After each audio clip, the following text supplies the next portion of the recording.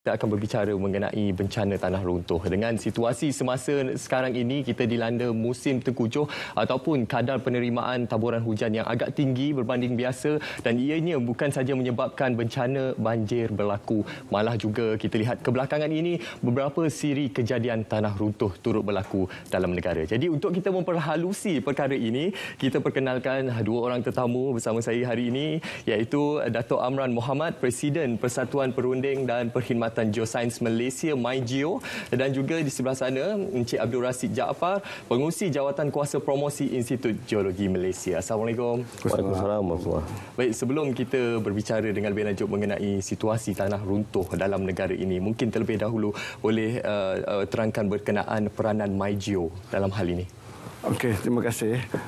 Uh, MyGeo adalah singkatan daripada Malaysian Geoscience Consultant dan Services Association iaitu Persatuan Perunding dan Perkhidmatan Geoscience Malaysia di mana ahli-ahlinya adalah terdiri daripada firma-firma, syarikat-syarikat ataupun organisasi yang dimiliki oleh ahli geologis profesional yang didaftarkan dalam Lembaga Geologi uh, Malaysia.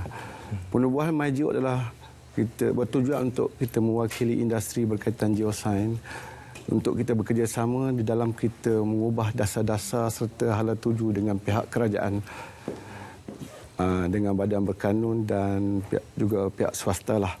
Di samping itu juga MyGeo mempromosi profesion geologi itu sendiri kepada pihak yang terlibat dalam industri uh, geosains lah. Bidang industri yang terlibat ialah seperti geologi kejuruteraan, geofizik, Eh, kejuruteraan air tanah, pelomongan, geologi persekitaran dan pelbagai disiplin-disiplin yang berkaitan dengan geologi. Apabila kita membincangkan bencana tanah runtuh pada hari ini, mm-hmm. yang kita tengok sekarang semakin meningkat, banyak berlaku tanah runtuh. Penglibatan ahli geologi dalam bidang geologi kejuruteraan amat diperlukan dan adalah menjadi satu keperluan yang wajib hmm. untuk kita bersama dalam menjalankan penyiasatan forensik. Ah. dalam uh, sama, ada, sama ada kita lihat daripada segi aspek-aspek geologi seperti topografi, Aha. daripada segi kemiring, kemiringan cerun, geometri cerun lah. Hmm. Lepas tu arah aliran air permukaan bumi, hmm. arah aliran uh, apa air di dalam bumi itu sendiri hmm. dan jenis batuan serta struktur geologi kawasan tersebut. Mm-hmm. Ini adalah sebuah ringkas berkaitan dengan MyGeo lah sebelum kita membincangkan perkara-perkara lain. Okay. Baik, ya, seperti yang kita, uh, Datuk nyatakan tadi, sebenarnya banyak cabang di bawah uh, profesion geologis ini. Uh, mungkin Encik Abdul Hasim mungkin terangkan apakah yang dimaksud dengan profesion geologis ini dan kenapa kita perlukan lebih ramai pakar dalam bidang geologis ini. Uh, terima kasih ya saudara Munawar uh, uh, ahli geologi sekarang ni di Malaysia hmm. adalah merupakan ahli uh, kerjaya profesional hmm. ataupun kerjaya ikhtisas sama seperti uh, accountant, jurutera, uh, doktor, arkitek dan sebagainya. Kerana uh, ahli geologi sekarang ini di, dikawasili oleh uh, satu akta iaitu Akta Ahli Geologi 2008 yang uh, dikenali juga sebagai Akta 689 Hmm. Di mana akta ini memperuntukkan penubuhan uh, lembaga ahli geologi. Hmm. Uh, lembaga ahli geologi ini ditubuhkan pula pada 2014, iaitu enam tahun yang lalu. So hmm. masih lagi dalam peringkat uh, uh, belajar, peringkat lagi permulaan. Ah. So kita baru enam tahun. So sebab tu kita masih lagi uh, rancak dalam mempromosikan uh, peranan ahli uh, geologi dan juga uh, servis-servis ataupun perkhidmatan geologi yang yang boleh kita uh, apa nama ni uh, sediakan untuk masyarakat. Aha, seperti yang kita sudah maklum kita wawarkan kepada penonton tajuk kita pada ini bencana tanah runtuh mencegah sebelum menjadi semakin parah. Uh, Jadi uh, mungkin boleh terangkan apakah antara faktor-faktor yang boleh mewujudkan uh, fenomena ataupun kejadian tanah runtuh dalam negara ini. Kerana kita sudah maklum terdapat juga faktor manusia dan juga faktor alam. Boleh perinci? Uh, betul. Uh, dia kalau kita lihat uh, uh, di dunia ni uh, semua pengkaji-pengkaji tanah runtuh akan uh, setuju terdapat dua faktor uh, utama iaitu faktor uh, dalaman mm-hmm. ataupun kita panggil sebagai faktor uh, penyebab mm-hmm. uh, causal factor mm-hmm. dan juga ada faktor luaran ataupun faktor uh, pencetus triggering factor so kalau di Malaysia taburan hujan adalah yang utamalah yang memainkan peranan uh, menyebabkan uh, bencana tanah runtuh dan juga banjir. Kerana banjir juga boleh menyebabkan uh, peningkatan air tanah dan sebagainya menyebabkan tanah runtuh. Di Sabah contohnya ada faktor lain, hmm. gempa bumi. Uh, pun boleh menyebabkan uh, berlakunya uh, tanah runtuh itu adalah faktor pencetus. Ramai kita semua faham faktor hmm. pencetus itu. Tapi yang ramai uh, kita kurang faham adalah faktor penyebab. Uh, faktor penyebab ni yang memerlukan uh, pemahaman terhadap uh, geologi uh, uh, uh, uh, kawasan, pemahaman terhadap geomorfologi. Mm-hmm. Uh, kalau kita biasa geografi, mm-hmm. geomorfologi pun terdapat dalam uh, geologi geografi fizikal. Mm-hmm. Dan juga uh, faktor-faktor cerun uh, dan dan uh, Uh, sifat-sifat tanah atau batuan itu sendiri. Itu yang gabungan dua ni barulah uh, terjadinya tanah runtuh. Mm-hmm. Dan faktor-faktor dalaman inilah ataupun uh, penyebab ini yang uh, selalunya uh, tidak dipahami.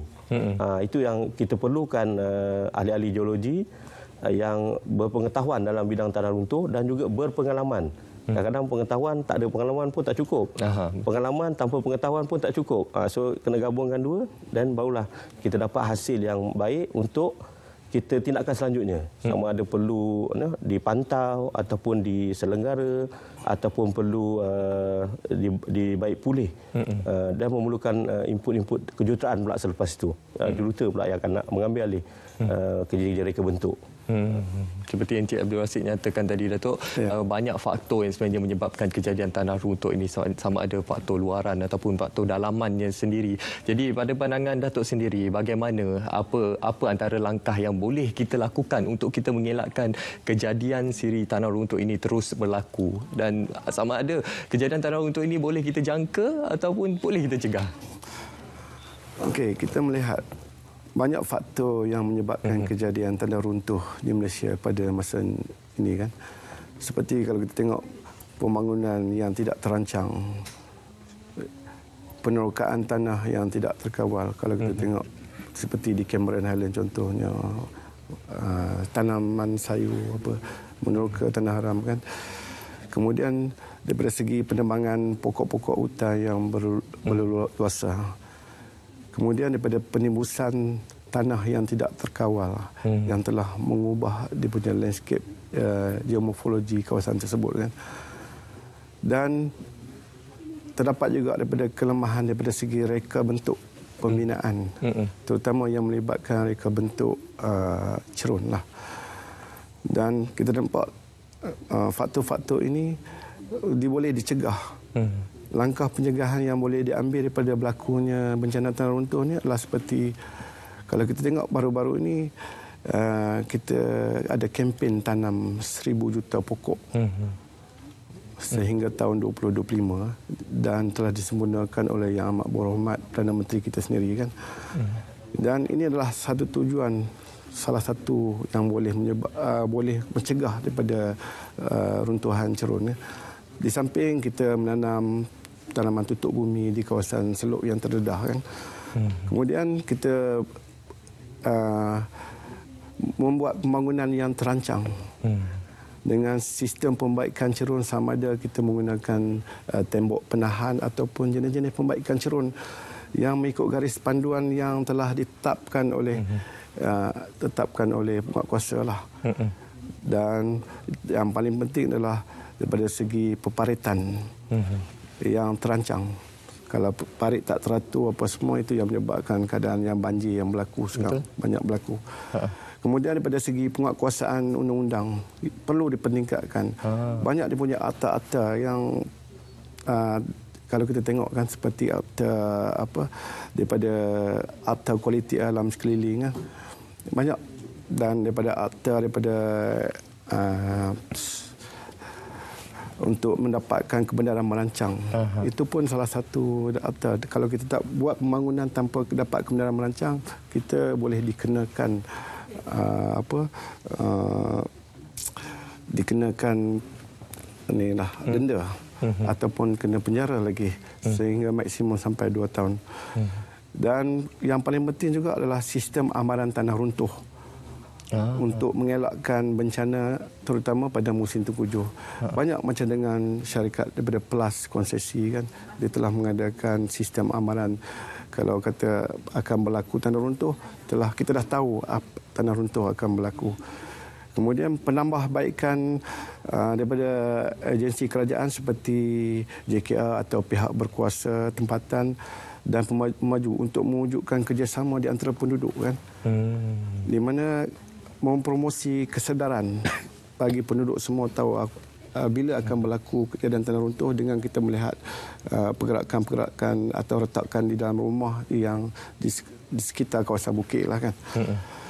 Demikian juga dengan pemantauan cerun-cerun yang di tepi bukit kan. Kita perlu ditingkatkan. Maknanya kalau masa hujan kita tengok kawasan cerun yang berisiko, kita perlu pergi buat pemantauan dan melihat takut kejadian runtuh akan berlaku. Dan yang paling penting bagi saya juga adalah penglibatan ahli geologi itu sendiri. Hmm. Perlu ditingkatkan dalam memberi input serta data kepada jurutera geoteknikal supaya reka bentuk pembaikan cerun ini akan lebih komprehensif. Itu hmm. saya rasa sama-sama bekerja untuk mendapatkan satu reka bentuk yang komprehensif. Hmm. Hmm. Itulah boleh saya tambah. Ha, boleh boleh. Ha, okey. Uh, kalau kita lihat uh, sebenarnya kita mempunyai satu dokumen uh, yang telah diterbitkan oleh uh, cawangan kejutan cerun hmm. JKR iaitu yang dipanggil uh, National Slope Master Plan. Uh, di, dibuat pada tahun 2009 sehingga uh, dia sepatut di sana sehingga 2023. Mm-hmm. Dan pada tahun 2016 telah dilakukan satu uh, kaji semula, kajian semula terhadap dokumen ini. Dokumen ini meletakkan 10 elemen. 10 elemen uh, termasuklah uh, pengumpulan data, uh, training dan juga uh, kesedaran kepada masyarakat. So it's very comprehensive punya dokumen. Tetapi apabila dibuat kajian semula, kita dapati bahawa hanya dua komponen uh, yang berjalan iaitu uh, pemetaan uh, bahaya dan risiko cerun hmm. yang ditunjangi oleh Jabatan Mineral dan Jiwasraya Malaysia. Hmm. Ini berlaku dan juga uh, uh, apa nama kesedaran dan juga pendidikan. Hmm. Uh, ini berlaku tetapi di peringkat yang very uh, minima uh, di mana mungkin berlaku di kawasan-kawasan perbandaran uh-huh. di kawasan uh, Bukit Antarabangsa contohnya benda ini berlaku dengan hebatnya tapi di uh-huh. tempat-tempat lain uh, masih lagi uh, pengetahuan terhadap uh, tanah runtuh ini masih rendah kita nak uh, pengetahuan tentang tanah runtuh ini uh, seperti juga banjir uh, dan juga COVID pandemik COVID bila pandemik COVID ini melanda seluruh rakyat bercakap pasal pandemik COVID. Ha. So kita faham Betul. bagaimana jangkitan, bagaimana apa nama uh, proses-proses uh, uh, COVID-19 uh, merebak dan sebagainya. Dan bila banjir, kita nampak uh, rakyat telah bersedia contohnya. Betul. Uh, kawasan-kawasan yang tanah rendah, banjir memang akan tiba dengan banjir. So hmm. kita kita hidup dengan banjir. Hmm. Uh, tapi di, yang di kawasan yang tidak banjir terus membantu. Automatik rakyat hmm. membantu. So kita nak tanah runtuh juga di dalam keadaan yang sama. Itu salah satu bencana sebenarnya. Tanah runtuh kalau ikut kajian di Malaysia ni adalah pembunuh bencana pembunuh utama. So yeah. kalau kita kumpulkan uh, dua dekad eh, daripada 1990, ini kajian saya sendirilah hingga ke tahun 2000 uh, 2010 kita dapati adanya uh, terdapat hampir 500 500 uh, kematian Ha, uh, jika dibandingkan dengan bencana-bencana lain. Banjir adalah uh, Baik. perosak uh, ekonomi utama. Tapi pembunuh yang utama adalah tanah runtuh. Uh, jadi kita nak rakyat semua faham tentang uh, bencana tanah runtuh ini. Baik, itulah sedikit penerangan mengenai bencana tanah runtuh ini dan sebenarnya tadi kita telah kemukakan beberapa langkah-langkah pencegahan yang terbaik inisiatif yang boleh kita lakukan sekarang ini untuk kita mencegah ataupun kita boleh menjangka kejadian tanah runtuh ini dan kita boleh mengelakkannya daripada terus berulang dan memberi kesan ataupun impak kepada uh, masyarakat dan juga negara. Terima kasih kepada kedua-dua tetamu kerana sudi bersama kita untuk membincangkan topik berkenaan bencana tanah runtuh ini. Baik penonton, seterusnya kita